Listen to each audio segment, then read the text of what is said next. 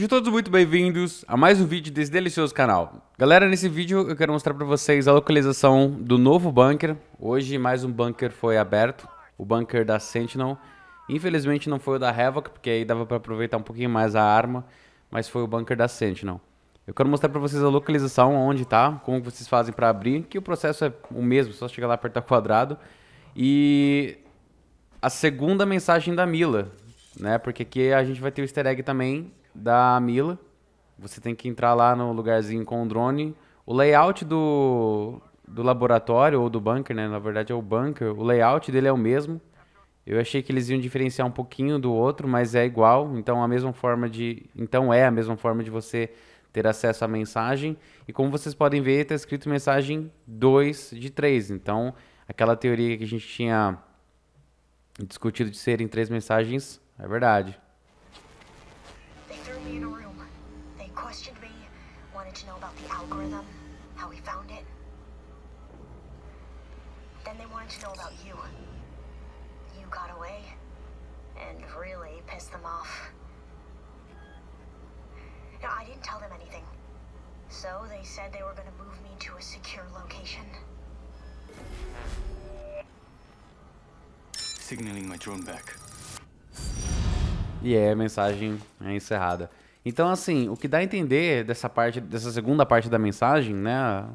A Mila fez o favor de, de, de dividir a mensagem toda em três partes. Possivelmente na próxima semana a gente vai ter acesso à última delas e vai se revelar algo maior ainda. Mas confirma que ela tá viva. E o que dá a entender é que ou o sindicato ou alguém. A gente acredita que é o sindicato, né? Eles tenham colocado ela em uma espécie de quarentena, né? Uma espécie de sei lá, conter ela em algum lugar para nem ela vazar algumas coisas e talvez até para protegê-la, vamos dizer assim, de algum outro tipo de ataque, mas eu acho mais improvável, né? Eu acho que é mais para deixar ela presa mesmo do que para proteger a própria Mila. Na próxima semana, eu acredito que o bunker de Lagos do Subúrbio vai ficar disponível também, que é o, o bunker da Havoc. Provavelmente a gente não vai ter a tal R99 dourada. Muito provavelmente a gente só tem acesso a ela no próprio uh, nos, nas próprias quests, né? Inclusive hoje também foi disponível mais um, uma quest, mais um desafio para a gente fazer e a conclusão a gente ganha mais um pingente de arma, ganha mais uma peça do artefato perdido, né? A penúltima peça do artefato perdido e também a penúltima parte da história, né? Que hoje vai ser revelado quem é o tal do espião. Então, se porventura você não gosta de receber spoiler, hoje você já pode uh, fazer a quest e descobrir quem que é o tal do espião. Eu devo trazer um vídeo ou hoje ou amanhã para falar a respeito da rework da Bangalore. Foi praticamente confirmado por desenvolvedores que ela também vai passar por rework. Eu não sei se é tão necessário uma rework na Bangalore.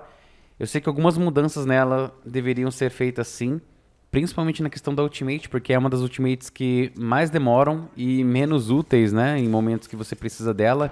Você usa a Ultimate da Bangalore, o Rolling Thunder, apenas para espantar os inimigos, né? Ou você tirar o teu time de uma situação uh, de perigo. O próprio, a própria Ultimate do Gibraltar é muito mais agressiva, né? O bombardeio defensivo é muito mais agressivo do que o Rolling Thunder da, da Bangalore, mas enfim, como eu falei, não sei se um rework seria necessário aqui, tá?